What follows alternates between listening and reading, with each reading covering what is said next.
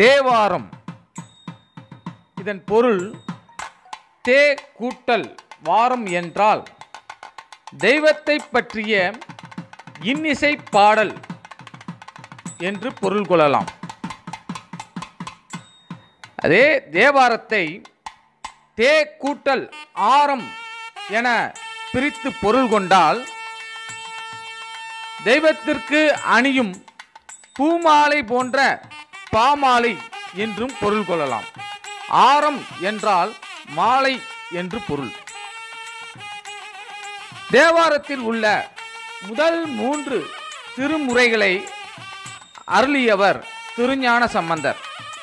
அம்மூன்று திருமுறைகளும் திருக்கடை காப்பு என்று அழைக்கப்படுகிறது. கோவில் இல்லா ஊரில் குடியிருக்க வேண்டாம் என்பது முதுமொழி. கோவில் ஓர் ஊரின் பெருமைக்குரிய அடையாளங்களுள் ஒன்று. கோவிலின் புகழை பறைசாற்றும் விதமாக இன்றும் பல்வேறு ஊர்களில் திருவிழாக்கள் மிகவும் எழுச்சியோடு நடைபெற்று கொண்டிருப்பதை நாம் அறியலாம். திருவிழாக்கள் நம் மகிழ்ச்சியை பகிர்ந்து கொள்ளவும் நம் நாகரிகத்தினை வெளிப்படுத்தவும் உதவுகின்றன. இத்தகைய திருவிழாக்கள் நிறைந்த ஊர்தான் திருமயிலை என்று அழைக்கப்படக்கூடிய மயிலாப்பூர்.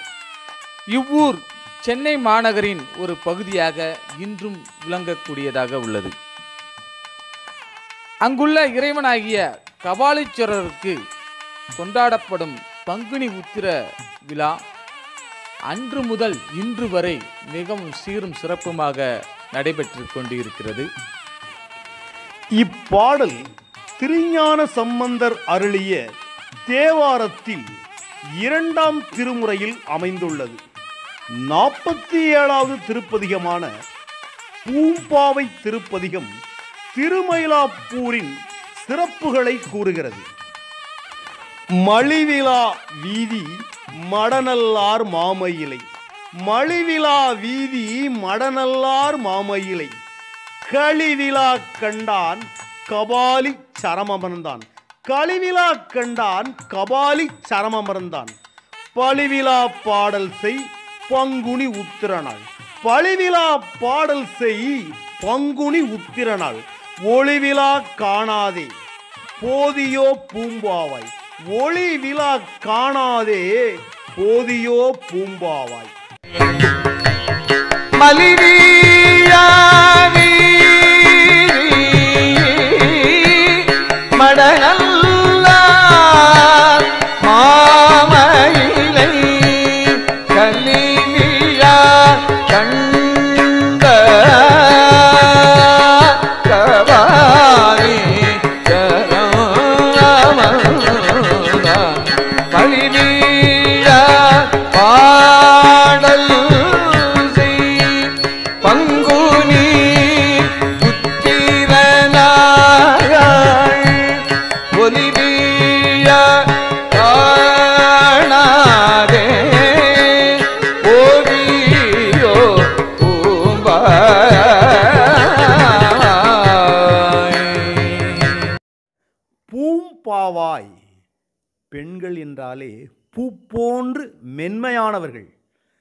பூம்பாவாய் என்றால் பூக்களைப் போன்ற பாவையர் என்று பொருள்.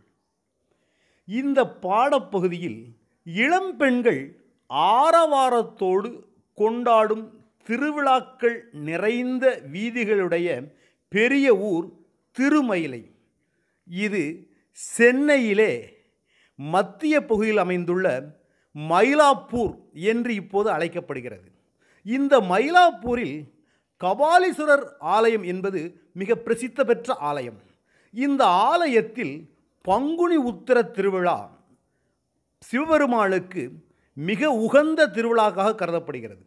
இந்த திருவிழாவை சீரோடும் சிறப்போடும் எழிலோடும் கொண்டாடக்கூடிய இந்த திருவிழாவை நாம் காணாமல் செல்வது முறையாகுமா? மயிலாப்பூர் சிறப்புகள்.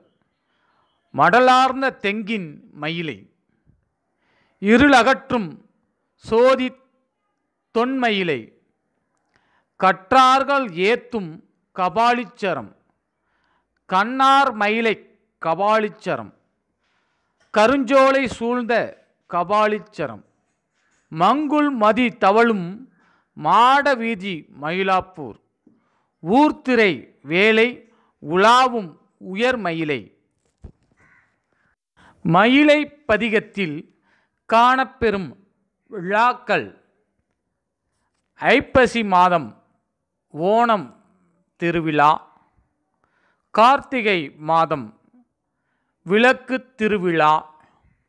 மார்கழி மாதம் திருவாதிரை விழா. தை மாதம் தைப்பூசம். மாசி மாதம் கடலாட்டு விழா. பங்குனி மாதம் பங்குனி உத்திர விழா போன்றவை மிகவும் சீரும் சிறப்புமாக நடைபெறுகிறது.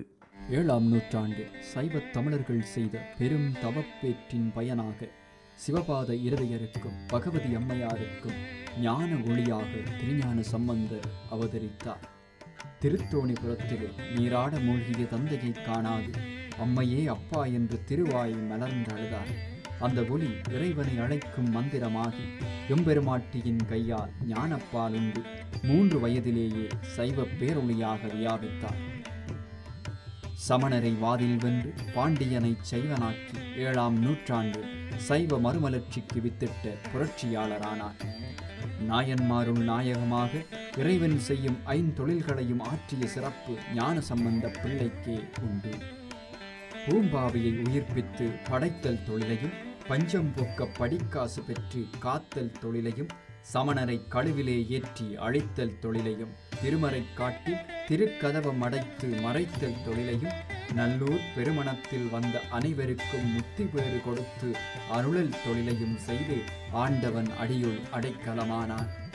இன்னும் ஆண்டுகள் ஆயிரம் கடந்தாலும் சைவத் தமிழர்கள் தங்கள் இதயங்களில் ஒரு கதாநாயகனாக போற்றி பணிய வேண்டிய ஞான சம்பந்த பிள்ளையின் திருத்தாள்களை நாமும் பரவுவோம். பூழியர்கோன் வெப்பொழித்து புகழியர்கோன் கடல் போற்றி. புனலில் ஏடுதிர் செல்லென செல்லுமே.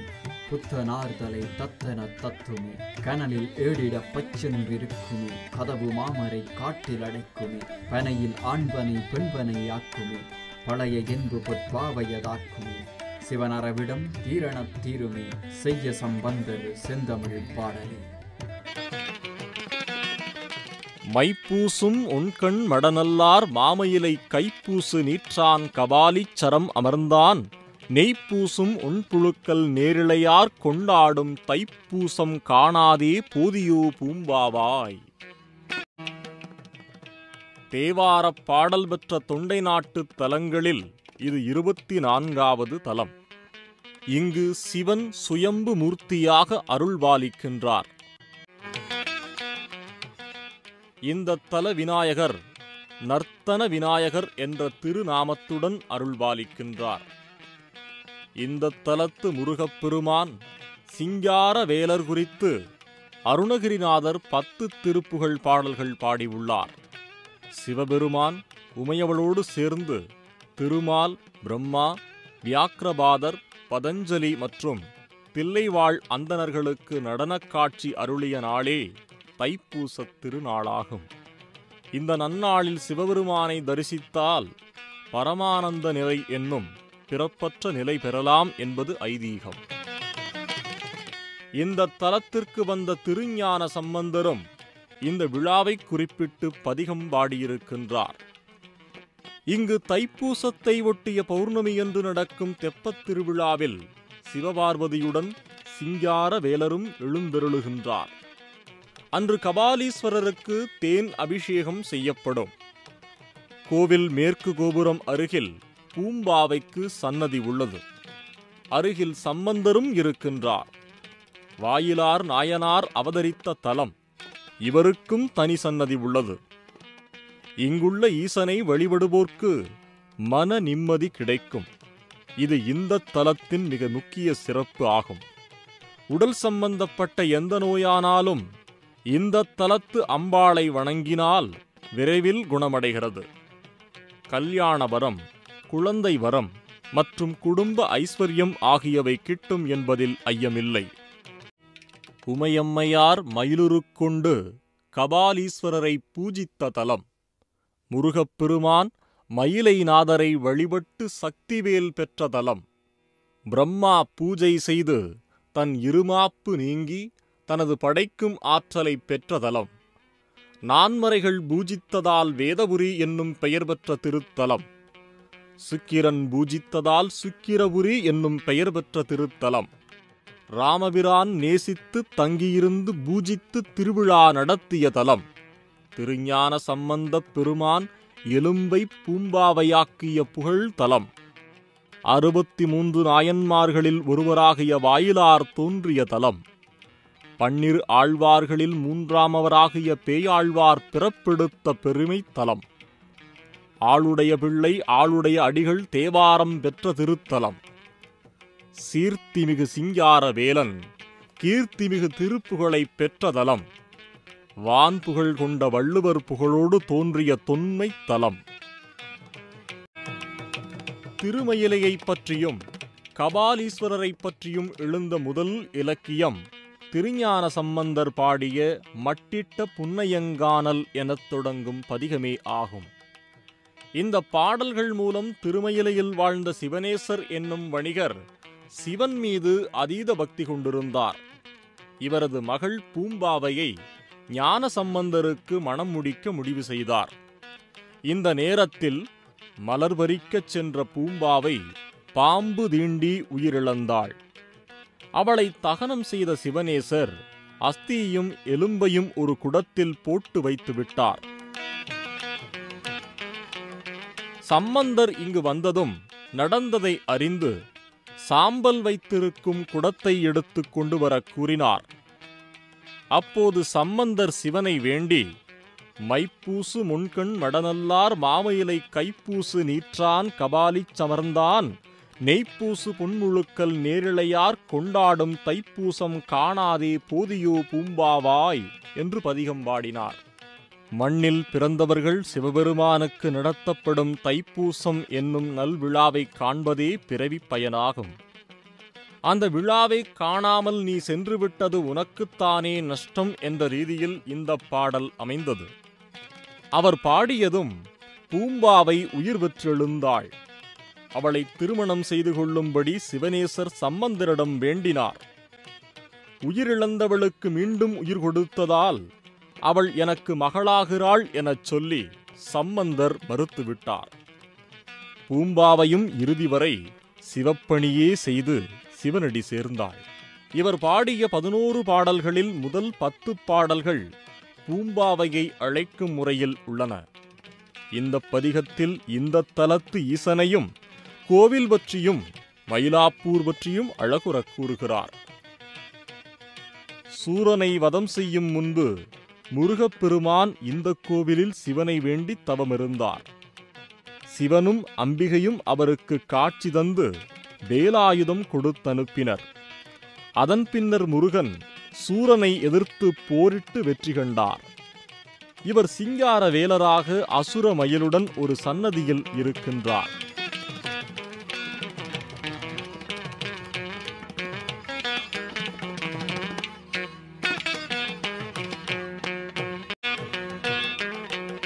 கபாலீஸ்வரருக்கு ஒவ்வொரு பௌர்ணமியிலும் விசேஷ பூஜை நடக்கின்றது.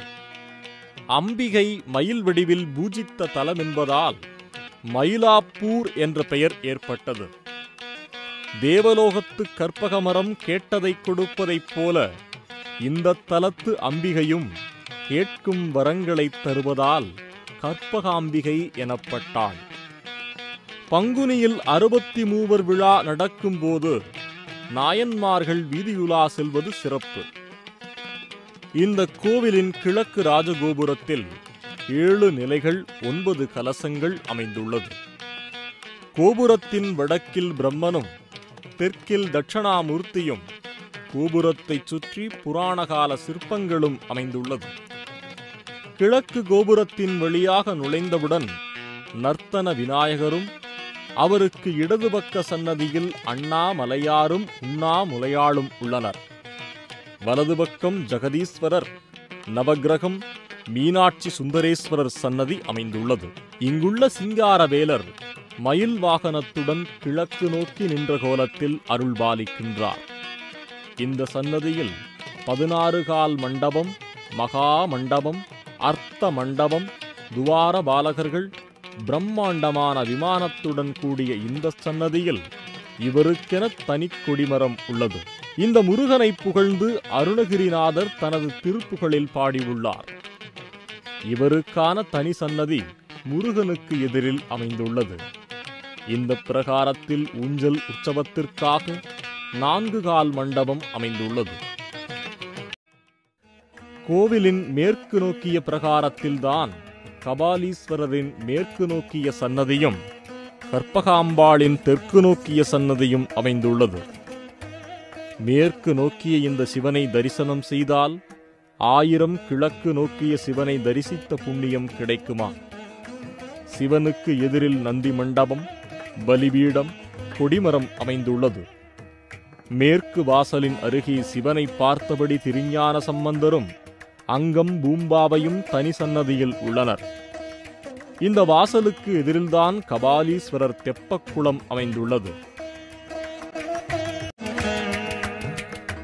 கைலாயத்தில் சிவபெருமான் பார்வதிக்கு பஞ்சாட்சர மந்திரம் கூறும்போது கவனிக்காமல் அருகிலிருந்த மயிலை கவனித்ததால் மயில் உருவம் பெற்றாள். அவள் மீண்டும் சிவனை அடைய இங்கு வழிபாடு செய்த காட்சி இங்கு புன்னைவனநாதர் சன்னதியில் உள்ளது. இதன் அடிப்படையில்தான் இந்த தலத்திற்கு மயிலாப்பூர் என்ற பெயர் வந்தது. பிரகாரத்தின் வடகிழக்கு மூலையில் சனி பகவான் தனி சன்னதியில் அருள்வாலிப்பது சிறப்பம்சம். உமையவள் சிவபெருமானிடம் ஐந்தெழுத்தின் பெருமைதனையும் திருநீற்றின் மகிமைதனையும் விளக்கிட வேண்டுகோள் விடுக்க சிவபெருமான் அந்த விளக்கத்தினை நல்கிட அதுபோது மயிலென்று தோகை விரித்தாட தேவியார் தமது கவனத்தை அதில் செலுத்தினார். அதனால் கோபமுற்ற சிவபெருமான் நீ பூதலத்தில் மயில் உருப்பெற்றிடுவாய் என சாபமிட்டார். சாபம் நீங்க தொண்டை நாட்டிற்குச் சென்று நீ தவம் செய் எனக் கூறினார். அவ்வாறே இந்த தலத்தில் அமைந்துள்ள புன்னை மரத்தின் கீழ் சிவலிங்கத்தை பூஜித்து தேவியார் வழிபட்டார். அவர்தம் அரும் தவத்தின் மகிமையால் சிவபெருமான் தேவியின் முன் தோன்றி மயிலாய் இருந்த பழி உன்னை விட்டகன்றது. கற்பகவல்லி என்பதான பெயர் உனக்காகுக என வரம் அருளினார். அந்த சமயம் தேவியார் பரமனை நோக்கி அடியேன் இங்கு தவம் செய்து உயர்ந்ததால் இந்த பகுதி மயிலை என பெயர் வழங்க வேண்டுமென்று கேட்டுக்கொண்டார். பரமனும் அவ்வாறே அருளியதாக வரலாறு கூறுகிறது. பங்குனி மாதம் பத்து நாட்களும் அறுபத்தி மூவர் திருவிழாவை காணவும் பௌர்ணமி அமாவாசை மற்றும் பிரதோஷ நாட்களில் கபாலீஸ்வரரை தரிசிக்கவும் தமிழ் ஆங்கில புத்தாண்டு தினங்கள் மற்றும் பிற விசேஷ நாட்களில் லட்சக்கணக்கான பக்தர்கள் மயிலையில் வலம் வருவர். தவிர மாதந்தோறும் இந்த கோவிலில் திருவிழாக்கள் நடந்த வண்ணம் இருப்பது மிகவும் சிறப்பானது.